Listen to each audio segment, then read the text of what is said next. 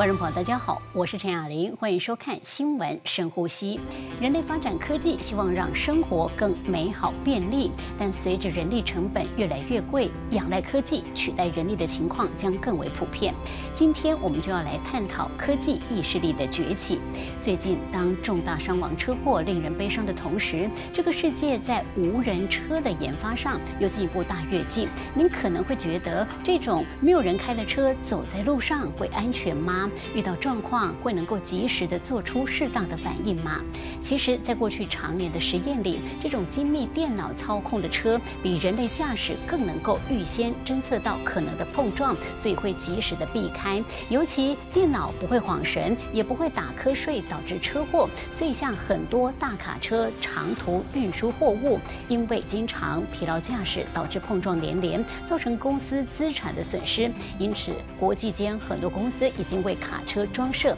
类似的侦测与摄影设备来辅助司机，果真成功降低毁损。但我们要看的不只是这一小块，而是真正的无人车。来看，在法国里昂，这台无人驾驶的巴士已经在规划的路径行驶了，上头只有乘客，没有司机。当然，环绕在这车子身上的一定配备有各种三 D、二 D 的镭射雷达感应器，以及很多的摄影机。这个车轮也配有距离感应器跟紧急刹车系统，而且这里头还有来自台湾的强固型电脑作为心脏，进行影像和驾驶控制系统的处理。这款无人驾驶的小巴已经游历过德国和美国，十月份也要开进咱们台湾高雄。虽然会是在封闭以及半封闭区域进行导览和接驳，但也宣告台湾无人车上路时代已经来临。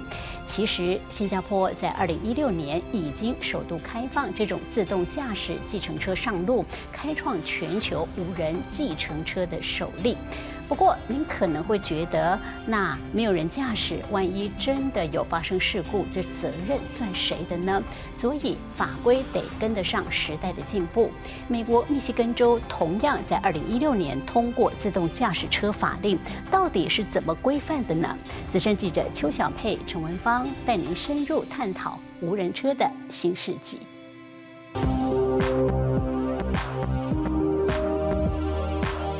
国里昂这台穿梭在街头的圆滚滚小巴士特别引人注目，乘客能在车上用荧幕查看行车路线，但整台车完全找不到驾驶，没有方向盘，也没有刹车踏板。但若是前方有行人，它就会停下来，靠的是车头车尾配置的三 D 及二 D 的 LiDAR 镭射雷达感应器以及摄影机。车轮也配有距离感应器及紧急刹车系统，加上来自台湾的强固型电脑作为心脏，可进行影像及驾驶控制系统的处理，达到完全自动驾驶。行车路线则由工程师事先绘制 3D 地图，让巴士在规划好的路径上行驶。在去年五月，这款小巴已经游历德国五个城市，今年一月还到美国赌城进行测试，十月份也要开进台湾高雄。虽然目前已在封闭的区域，像是游乐园、校园及半封闭区域、机场或是工业区接驳为主要功能，但确实宣告无人车上路时代已经来临。甚至无人车在国内第一次的呃使用的首例，那有了这样子的经历哈经验的使用经验的话，可以协助交通部我们来检视我们的法令是不是有呃需要来做检讨或修正的地方。美国内华达州政府在二零一五年就首开先例，核准自动驾驶卡车上路。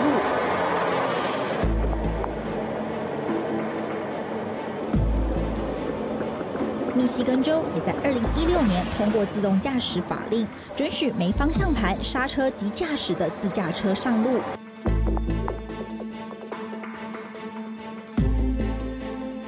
去年，新加坡也首度开放自动驾驶计程车上路，开创全球无人计程车首例。自驾车的出现，未来将陆续全面变革全球的交通法规，也让汽车大厂紧锣密鼓为量产无人车做准备。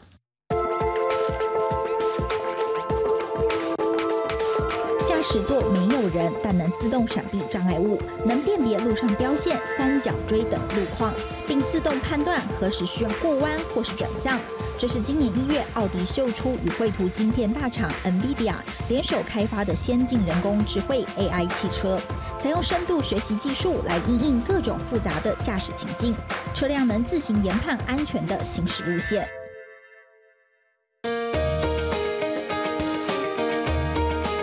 开始研发无人车的 Google，历经七年，去年底也终于将无人车技术独立设置公司，为进入商业化做准备。除了和美国车商克莱斯勒合作打造出一百辆自动驾驶汽车，也和日商本田宣布合作。这是个不做自驾车就几乎得淘汰的趋势。各大车厂纷纷宣称，在二零二零年前后将会量产无人车，也就是说，未来四年全自动无人驾驶车会在马路上出现，颠覆城市交通形态。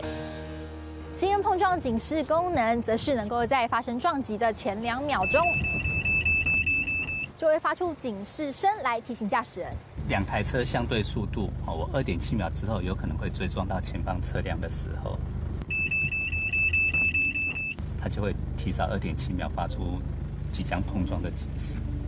在驾驶没打方向灯状况，闪神导致车道偏移，警示器也会马上哔哔叫。这是以色列公司 m o b i l e 的视觉辨识技术，在这场无人车竞赛中已经占有一席之地。只靠单一镜头侦测就能感应障碍物，做出警示，已经运用在辅助长途行驶的大客车以及货运驾驶，避免车祸，吃下全球九成汽车市场，成为 Google 劲敌。去年宣布和晶片大厂 Intel 以及 B N W 合作研发自驾车。虽然目前全球法令还未完全允许自驾车上路，但是这些自动停车、跟车的功能，许多车厂已经导入运用，等于是进入无人车阶段的过渡期。现在带你感受的就是宾士的智能辅助停车系统。现在呢，我一只脚已经踩住刹车了哦。那你看，我现在这边有一个按键叫做启动键，我现在把它按下去。现在他在帮我们寻找车位，用的呢是车身周围有十二只的雷达。现在手都没有碰哦，但是方向盘自己正在转动。它现在可以侦测距离啊，跟附近的车子距离间距是多少。然后呢，它还可以自己操控方向盘，还会打方向灯，也会踩刹车，也会踩油门。好，你现在看到没有花多久时间，车子就已经停好了。宾士的智能停车辅助系统虽然还是得踩刹车、按启动键跟换挡，但经过雷达和镜头侦测计算的停车角度，让车辆停得又正又准，不像人类驾驶得用肉眼估算距离，常常还不小心停歪。在市区道路行驶时，在你没注意即将撞上车辆或行人，主动防撞系统就会替你踩刹车或减速。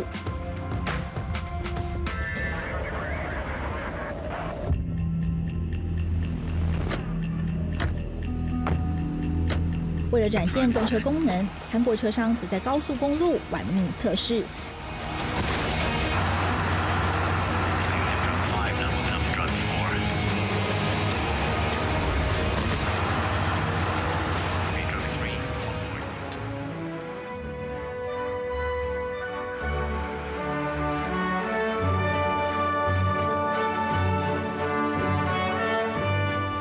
前方人类驾驶所开的拖板车一踩刹车，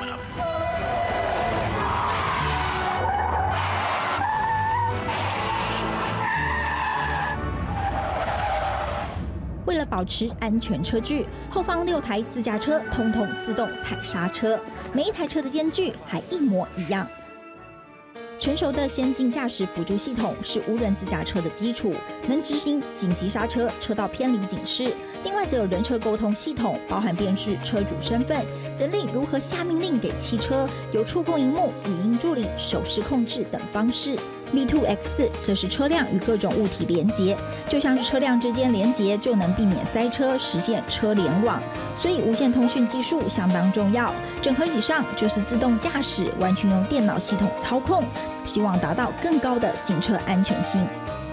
所以一台无人车并非一间公司就能完成，产值高达十兆美元商机。台湾厂商也纷纷卡位。我们直机位在新竹的交大无人车研究室，近年已经开发二十多种先进行车辅助系统技术，授权给国内包含和硕以及广达旗下顶天等厂商。现在更忙着要把先进驾驶辅助系统人工智慧化。车辆跟摩托车、行人中间有遮蔽，其实它都可以分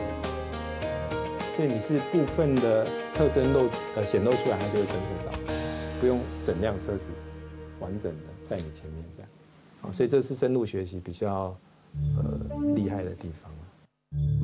画面上只要系统判别是人，就会被框起来。不管是指入镜、一只手、一只脚，或是倒立入镜，都会被察觉。就算我们把灯关了，让光线微弱，也一样侦测得到人。原理是郭俊英团队利用行车记录上的影本为样本，标示出道路上的汽车、机车、行人。为了要提高准确度，得以累积天候变化等情境资料，供系统做准确判读。目前已经建立一百五十万笔可供辨识的物件资料，这是足以抗衡目前 Mobileye 电脑视觉辨识的深度学习技术。深度学习呢，它你没办法定规则。你所有的规则都是由你要辨识的物件自己经过训练之后学来的，他会去做不同特征的抽取，啊，那抽取出来之后，他知道同一类的东西，它有共同的特征，好，所以他最后就按照这个同一类的共同特征呢，去辨识这个是行人，这个是车辆，这是小狗，所以你只要跟教教他。他就会自己学，我个人感觉是比原来的电脑视觉好，它还是可以 apply 到这种光影强烈变化的时候的侦测。这项技术运用在无人车，就能更精准判别周围路况，避免撞上行人或是前方车辆，在不容出错的无人车安全领域相当重要。郭俊英考虑未来要成立公司，红海也有投资意愿。霹雳车，尖端科技的结晶。是一部人性化的万能电动车，出现在我们这个无奇不有的世界。就像是一九八二年美国热门电视剧《霹雳游侠》，结合 AI 人工智慧的霹雳车电脑火计，将出现在真实世界。但在全世界法规层面，一大问题就是无人车肇事该是谁的责任？根据美国自动驾驶分类标准，Level Two 是混合式自动功能，至少有两项控制功能协同运作，像 Tesla；Level 三是有限制自动驾驶，例如谷歌无人车；到了 Level 四才是完全自动驾驶。而在 Level 三以上，肇事责任就得由车上负责。也因此，自动驾驶技术逐渐成熟，但如何让车辆能辨识路况更安全，得取得更多的测试数据，以及适合的商业模式，都还有讨论空间。在关键零组件有优势的台湾，若能延伸到子模组系统、自动驾驶系统，扩大实战，无人车产业有机会是带动台湾景气一盏明灯。